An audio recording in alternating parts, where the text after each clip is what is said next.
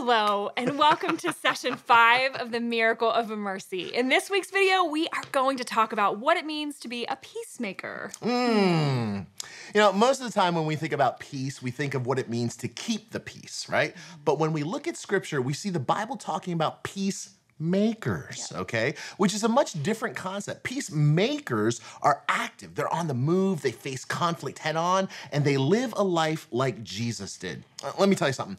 I'm a husband, I'm a dad, I'm a pastor. I know what the Bible says, okay? But so many times I would much rather not face a conflict head on. I'm just gonna be on, uh, honest. I'm a conflict avoider, okay? I'd rather it just kind of resolve itself, push it under the rug, whatever. I'd rather not have the difficult conversation. And the easy way out would make me feel so much better. But I love the truth that Pastor Rick walks us through this week. It's not easy truth, but it's what my heart needs. Speaking of peacemakers, do you know one thing peacemakers do? Mm. They choose a mercy project. Yep. It's true. No matter what campus you attend, we have a mercy project for you and your group.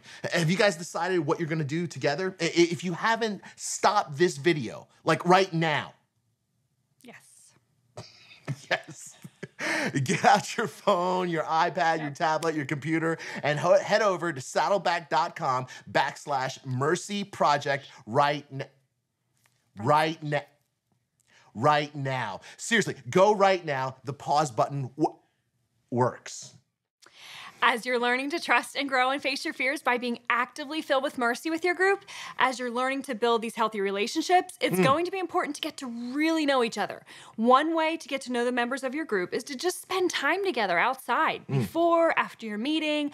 A simple way to do this is to have a meal together. Mm. We Amen. Preach it. Food. Yes. Simply yes. ask for a Invite volunteer me. to coordinate the group calendar, create a schedule for different food members to bring different group members to bring the food. Different members of food. Yes. Plan these times together often and remember that the most important thing about these activities is to simply just have fun. Fellowship. You know, in this week's discussion time, some issues may, you know, sort of bubble up. Uh, we're asking people to take an active role in seeking out peace when they've been wronged. And this can be so difficult. As you're encouraging people to take faith risks, you're gonna wanna be sure to work hard to create an environment of safety so that people feel the freedom to be open and honest. This is a good time to review the small group guidelines you looked at earlier and remind your members about confidentiality and gossip. You may already be doing well in these areas, but it's always a great idea to review these things from time to time. Sure.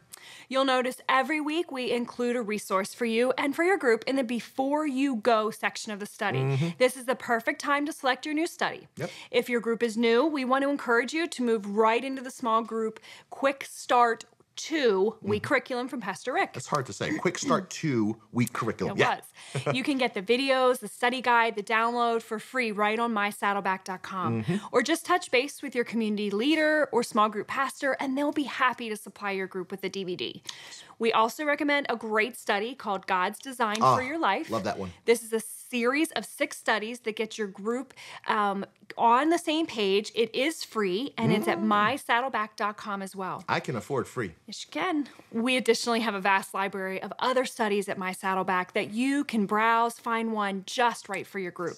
Your community leader will also have great suggestions if by chance you're stuck. Mm-hmm. You know, and on behalf of Pastor Rick and the rest of us at Saddleback Church, guys, thanks so much for hosting your group. Your faithfulness is making a difference in the lives of each person in your group. We'll see you guys next time.